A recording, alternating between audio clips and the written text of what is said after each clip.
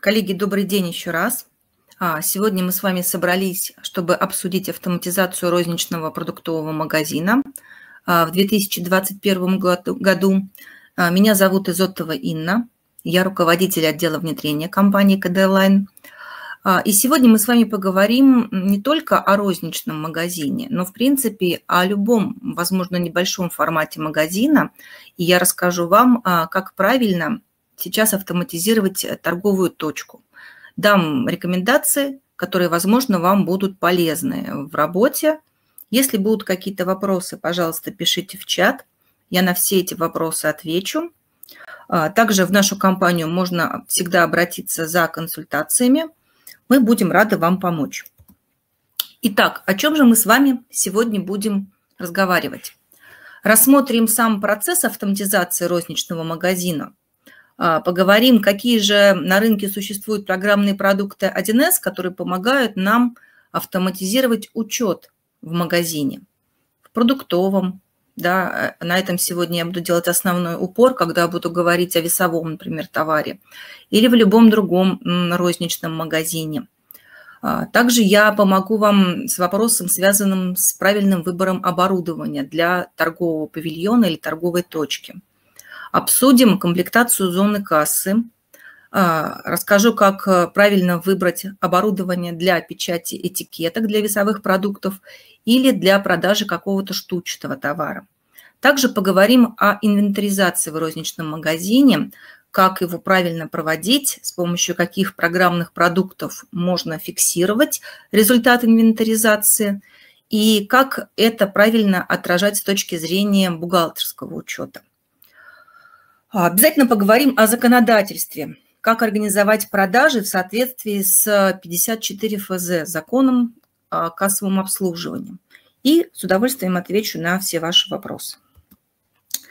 Итак, автоматизация розничной торговли а, – это целый процесс или комплекс мероприятий, который включает в себя поставку в магазин оборудования, да, внедрение каких-то программных продуктов, с помощью которых будут работать ваши сотрудники, и с помощью которых вы сможете контролировать эффективность своего бизнеса. А, какие же здесь есть проблемы, с которыми сталкиваются коллеги при открытии магазина? В частности, очень медленно и некачественно обслуживание покупателей в магазине за счет того, что нет э, специализированных решений да, и оборудования. Также в магазине может отсутствовать достоверный учет товародвижения, когда собственник не понимает, сколько у него товара пришло в магазин, сколько ушло, сколько находится на полках и когда нужно пополнить ассортимент, да, товарную матрицу магазина. Также очень часто мы видим неграмотное управление ассортиментом и ценообразованием, когда рядом в магазине, например, цены значительно дешевле, да, и э, таким образом магазин не приносит той прибыли, которую от него ожидает собственник. Очень часто товар может оседать на складе, у него могут заканчиваться сроки годности, да, и, к сожалению, за счет этого бизнес несет убытки. Также ну, достаточно распространенные проблемы связаны с злоупотреблением, ошибками персонала и даже хищениями. Вот это не весь еще список рисков, которые знакомы розничному бизнесу. Да? Самое верное здесь решение, конечно, комплексная автоматизация торговли, внедрение программных продуктов, которые позволяют контролировать а, бизнес и правильно подбирать оборудование, которое помогает продавцу, складскому работнику да, вести учет. Итак, а, мы сегодня говорим о небольшом магазине.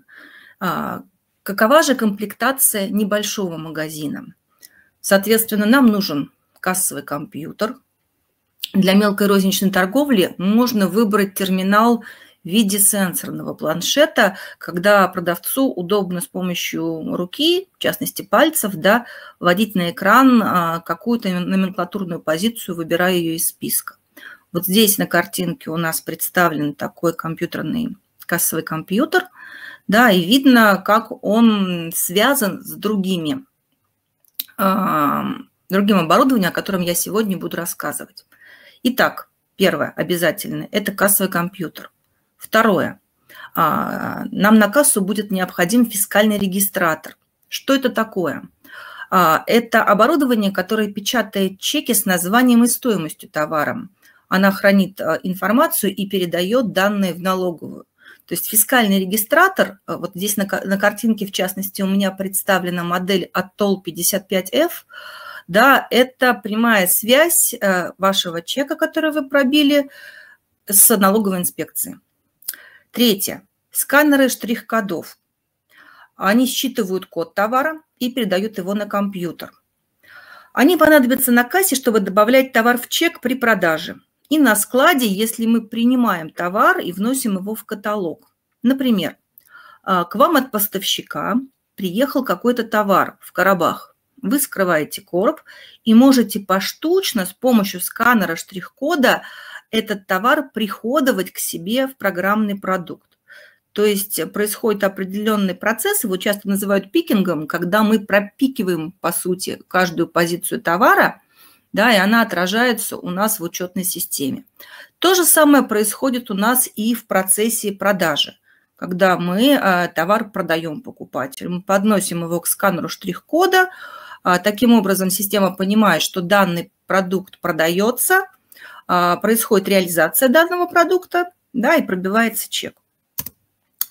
А, если мы говорим о розничном продуктовом магазине, то, возможно, у вас будет какой-то в продаже весовой товар, поэтому вам а, полезны будут электронные весы. Да, мы их используем для продажи товаров развес. Они добавляют показания, определенный вес товара чек. А также на кассе используется денежный ящик – это место хранения наличной выручки, купюр и монет, потому что не все сейчас еще пользуются картами, и очень часто к нам в магазин покупатель приходит с наличкой.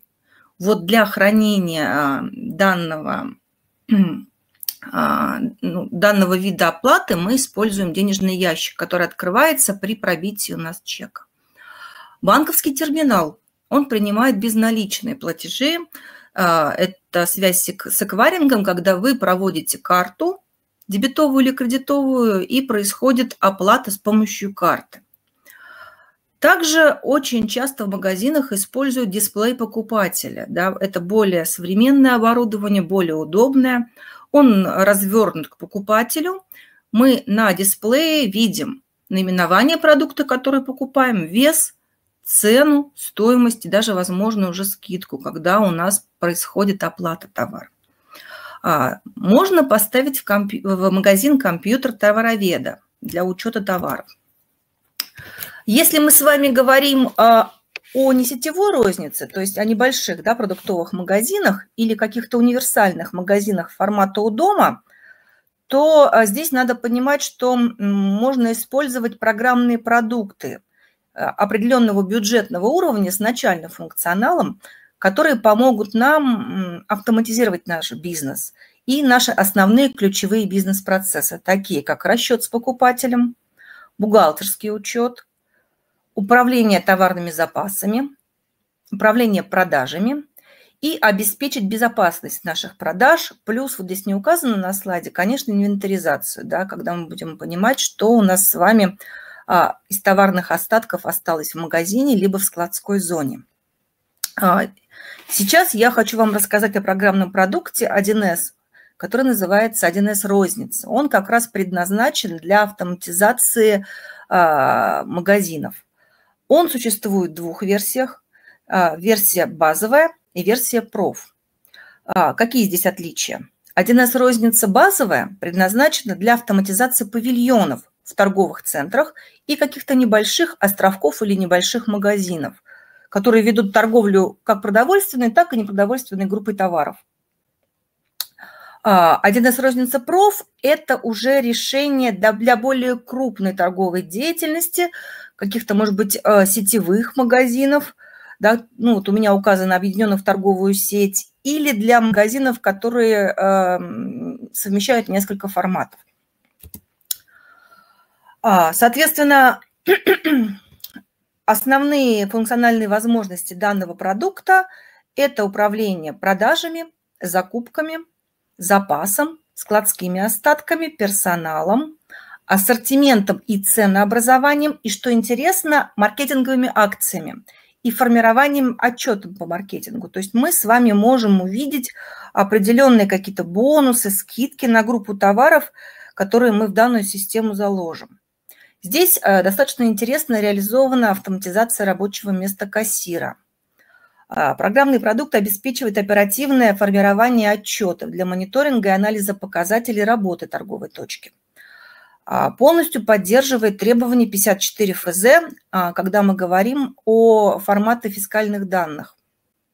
Работает с различным торговым оборудованием. Онлайн-кассы, ну и автономные, конечно, кассы, принтеры чеков, сканеры штрих-кодов, электронные весы, терминалы сбора данных, вот дисплеи покупателя, о которых я рассказывала раньше, ну и кваринговые платежные терминалы. Также система 1С розница интегрирована с государственными системами учета товарообращения, такие как ЕГАИС, Меркурий и Честный знак. А, настраивается она индивидуально под любые сферы розничной торговли и может применяться как автономно в небольшом магазине – да, так и связываться с другими решениями 1С, там, например, с бухгалтерией, если вы бухгалтерский учет ведете а, в 1С бухгалтерии, может быть связано с управлением нашей фирмой, может быть связано с 1С управлением торговлей. Для чего? Очень часто в моей практике компании фронт и бэк-офис разделяют. Учет магазина ведут на 1С розницы, а данные из 1С розницы передают в 1С управление торговлей, которое является системой верхнего уровня, мастер-системы, где ведутся основные э, справочники, вся основная нормативно-справочная информация, складской учет и э, управление всеми магазинами централизовано. А, теперь мы немножечко поговорим о оборудовании. Да? В магазине любого масштаба, от мини-маркета до гипермаркета, касса по законодательству должна работать безостановочно в весь период открытия магазина. А, начинается работа кассы с того, что э, сотрудник магазина открывает или закрывает смену. А, вот система, которая представлена у меня здесь на картинке – это POS-система. Она имеет определенный набор портов, максимально адаптированных для подключения торгового оборудования. К ней можно подключить сканер, принтер чеков, весов, клавиатуру промышленного класса для удобства продавца. А, теперь поговорим о комплектации зоны кассы.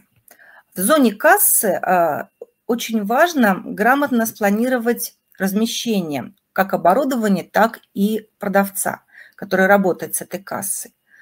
Надо заранее предусмотреть а, на стадии проектирования еще магазина, а, как у нас оборудование будет расположено, чтобы не возникло никаких проблем, в частности, там вопросов, связанных с электропитанием, потому что все оборудование, конечно, подключается у нас к электричеству. Посттерминал представлен на картинке ниже, о котором я сейчас говорила, а, он может быть использован с дублирующим дисплеем для покупателя. Этот э, дисплей делает для покупателя покупку прозрачной. Человек видит, что он покупает, за какую цену, при каком весе э, и какая у него может быть, например, скидка, если он пользуется какой-то бонусной системой. Но для каких-то мелких покупок или небольших магазинов можно вполне обойтись без дублирующего дисплея. Это сэкономит а, владельцу магазина стоимость оборудования. Также на кассе мы используем фискальный регистратор с функцией отправки данных ФНС. А, при его выборе следует учитывать производителя, да, это говорит о надежности фискального регистратора. Также необходимо обращать внимание на скорость печати и ширину кассовой ленты. То есть, если вы обращали внимание в магазине, чеки могут быть уже, шире, а, это связано с а, функциями фискального регистратора и требованиями бизнеса. Обычно в каких-то там небольших магазинах чеки маленькие, в больших торговых сетях, где не экономят у нас на бумаге, соответственно, там чеки большие, красивые, с а, полноценным таким текстом, даже, возможно, с каким-то логотипом компании. К посттерминалу подключаются весы. И у весов может быть панель для покупателя, на которой отдельно как бы, да, а, можно вывести для покупателя вес.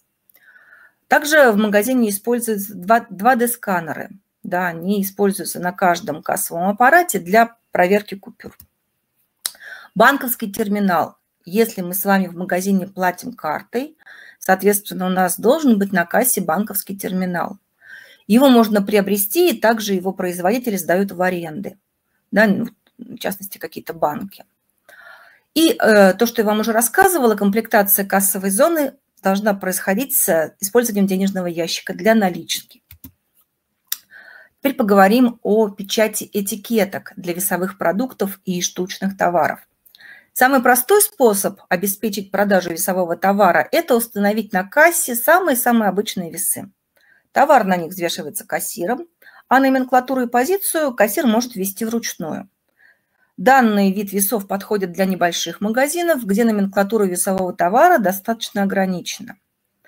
Но есть как бы и более автоматизированные способы, которые подходят в основном магазинам с небольшим ассортиментом весового товара.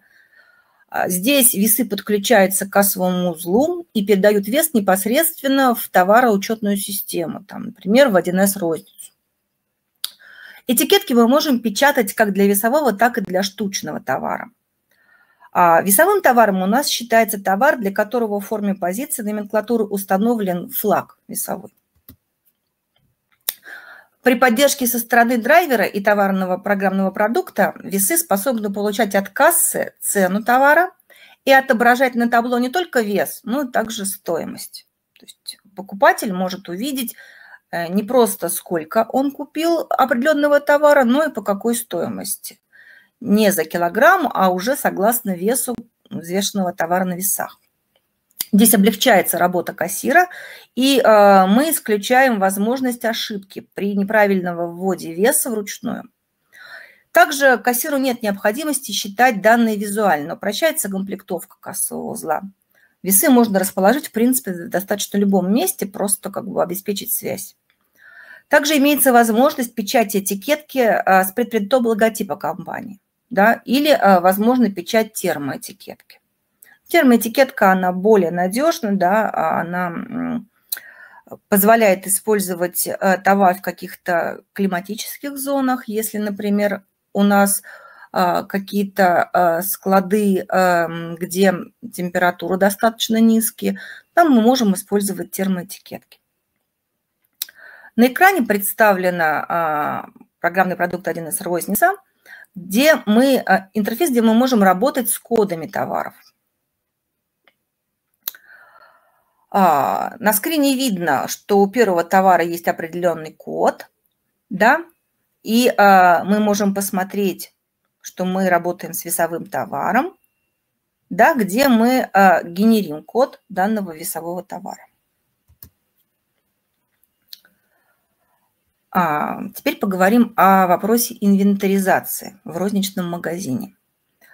Инвентаризация – это очень важный процесс, когда собственник понимает, сколько у него товара осталось в торговой точке или в складской зоне магазина. Проводить, в принципе, эту процедуру можно на свое усмотрение. Какие-то магазины проводят ее раз в месяц и пересчитывают товар на полках еженедельно.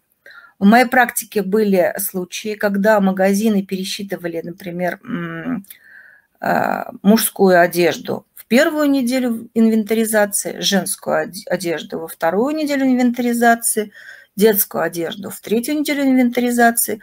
Полную, полную инвентаризацию делали только раз в месяц. То есть правила инвентаризации здесь задает сама компания. Однако а, ИП и те компании, которые ведут бухгалтерскую отчетность, должны обязательно ее проводить. Для инвентаризации также есть готовые программные решения от 1С, которые можно использовать. В частности, 1С розница. В 1С рознице инвентаризация всегда начинается с создания приказа на инвентаризацию. Заходим мы э, в интерфейсе программного продукта в меню «Склад», выбираем пункт «Приказы на пересчет товаров», да, вот у меня отмечено это на картинке. Дальше создаем новый приказ и заполняем в данном приказе все основные поля. Период проведения инвентаризации, склад и магазин. Также надо выбрать условия отбора товарных номенклатур. Да, то есть редактируем настройки, Настраиваем правила отбора товаров для инвентаризации. Мы можем, как я сказала, проводить ее, например, по какому-то гендерному признаку. Можем проводить, например, сегодня мы считаем какие-то продукты, там, например, бутылки в магазине, да, а завтра считаем, например, какие-то коробки, например, по такому признаку. Или отдельно проводим инвентаризацию алкогольной продукции или, например, сигарет. Выпадающем меню выбираем отбор, выбираем полную инвентаризацию и вот э, смотрим, что у нас здесь представлено на примере. А, для примера в 1С мы создадим отбор по пересчету товара, который находится в одной товарной группе. В нашем случае мы выбираем группу с безалкогольной водой и соками. Нажимаем кнопку «Создать» в окне выбора отбора и заполняем наименование нового отбора, указываем схему компоновки данных, в нашем случае произвольную. После заходим в меню редактирования. На основании приказа создаем перерасчет товара. В этом созданном документе переходим во вкладку «Товары», где должна уже отображаться все наши товары, которые мы выбрали для инвентаризации. Заполняем цены по себестоимости, нажимаем кнопку «Провести», не закрывая отсюда окно для сохранения своих настроек. Печатаем накладную, по которой будем проводить инвентаризацию для продавца. Дальше с этой накладной мы идем в торговый зал или складское наше помещение и пересчитываем товары, записываем фактически товарный остаток. Заносим в 1С розницу полученные результаты в наш документ уже с пересчетом. Здесь, если вы видите, у меня указано фактическое количество, например. Да, вот результаты инвентаризации. Вводим. Что мы по факту обнаружили у себя в складской зоне или на полках в магазине. Когда мы все данные ввели, переходим на вкладку «Главное», изменяем статус документа на «Выполнено», проводим данный документ в системе и закрываем. Дальше нам необходимо решить, что мы будем делать с недосдачей или с излишками. Недосдачу надо списать, а излишки необходимо в системе оприходовать. Заходим в меню «Склад», приказы на перерасчет товаров, и здесь открываем наш последний приказ. На его основании мы создаем списание недостатков или оприходование излишков. Все эти действия выбираем в выпадающем меню. Да, вот здесь у меня, например, в приказе указано красным подчеркнуто оприходование товаров, а желтым выделено списание товаров. В этих документах мы выделяем все позиции товара и задаем им цену по себестоимости чтобы списание было у нас не по розничной цене, а по той, по которой мы фактически э, купили данный товар. Если открывать связанные документы, то мы можем увидеть, что у приказа внутри системы есть три связанных документа. Это пересчет товаров, списание товаров и оприходование товаров. Каждый из них можно отдельно открыть, изучить, проверить все данные, которые внутри системы внесены. Также можно распечатать сличительную ведомость, доступную для печати в выпадающем меню. Что такое сличительная ведомость у нас в бухгалтерии? Это документ, который отображает недосдачи и излишки фактических остатков, с учетом фактических остатков. Также можно отслеживать все отклонения в учете с помощью сличительной ведомости. Дальше мы меняем статус у приказа на «выполнено». Мы с вами инвентаризацию уже провели и проводим данный документ в системе. Также я хотела сегодня обратить внимание на организацию продаж в соответствии с 54-м а, федеральным законом. Это закон о применении кассово-контрольной техники. Итак, уже в 2021 году у нас заканчивается отсрочка по онлайн-кассам. Основные изменения здесь коснулись технической составляющей кассовых аппаратов. У нас теперь внутри кассы обязательно должен использоваться фискальный накопитель. А, данные о каждой продаже и о каждом пробитом в магазине чеке в режиме реального времени передаются фискальным накопителем по сети интернет оператору фискальных данных, а затем оттуда передаются в налоговые органы. Каждый кассовый аппарат должен обеспечить возможность передачи чека покупателю в электронном виде. мы можем этот чек получить с вами либо на номер мобильного телефона, можем получить его на e-mail, если есть такая техническая возможность. Соответственно, это э, требование к кассовому чеку и бланку строгой отчетности. Вот здесь на примере у меня приведен чек, да, который можно получить по почте или по мобильному телефону. А для того, чтобы поставить на учет кассовый аппарат и чтобы он передавал данные в налоговую, предприниматель должен зарегистрировать личный кабинет на сайте налог.ру. Дальше он должен оставить заявку на проведение фискализации кассы и подписать эту заявку своей электронной подписью. После того, как налоговая получит эти данные, она отправляет налогоплательщику регистрационный номер, а в аппарат а, вносит данные по фискализации. Ну, таким образом, чтобы поставить на учет кассовый аппарат, уже не нужно лично посещать налоговую, да, а можно все это сделать удаленно. Здесь единственное, что нужно будет предпринимателю, это электронная подпись. Тоже можно получить ее а, через сайт. Кассовый аппарат после этого у нас считается благополучно зарегистрированным, и с ним уже может в магазине работать кассир. Когда покупатель оплачивает товар, то он получает чек. А дальше тут уже работает просто техника. Фискальный регистратор генерит данные по данному чеку и отправляет в зашифрованном виде оператору фискальных данных.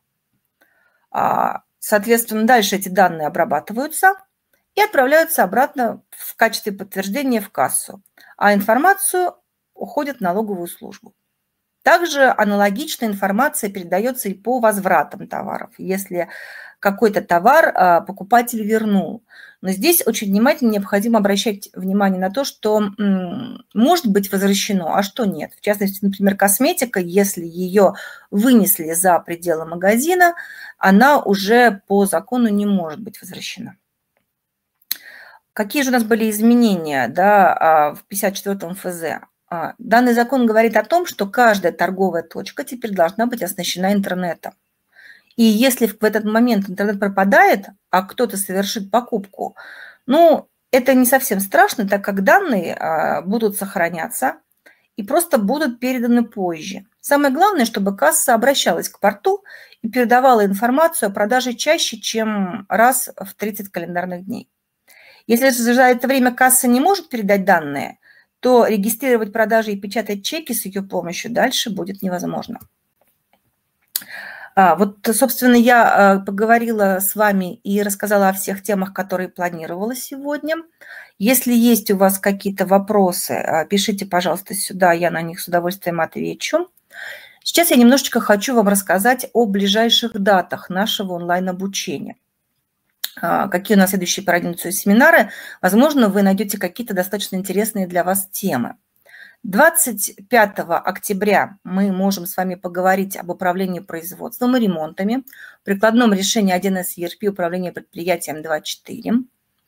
1 ноября пройдет вебинар «Практическое применение 1С CRM» версии Corp редакции 3.0 для управления взаимоотношениями с клиентами. 25 а ноября обзор прикладного решения 1С управления холдингом. Подробно программы а, данных вебинаров вы можете посмотреть на нашем сайте. Здесь ниже указана ссылочка. Коллеги, вижу ваши вопросы. А, Ильдар у меня спрашивает разницу между управлением торговли и 1С розница. Ильдар, спасибо за вопрос.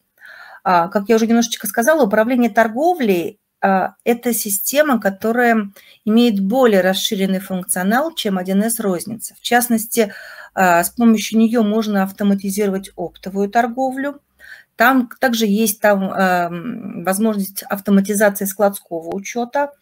Можно вести определенный финансовый учет и контролировать взаимоотношения с клиентами – с другой стороны, в 1С рознице более детально проработаны вопросы, связанные с бонусами, с маркетинговыми акциями. Если будет интересно, у меня есть сравнительная таблица по функционалу. Я бы могла подробно рассказать, а, для каких задач какой программный продукт а, удобнее использовать.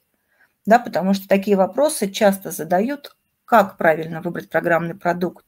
Вот я думаю, что здесь мы можем с вами либо в серии следующих вебинаров поговорить, либо можно а, написать мне на почту aiizotova.sobaka.kaderline.com. На все вопросы я отвечу и рекомендации по выбору программного продукта с удовольствием вам предоставлю, познакомившись с вашим видом деятельности.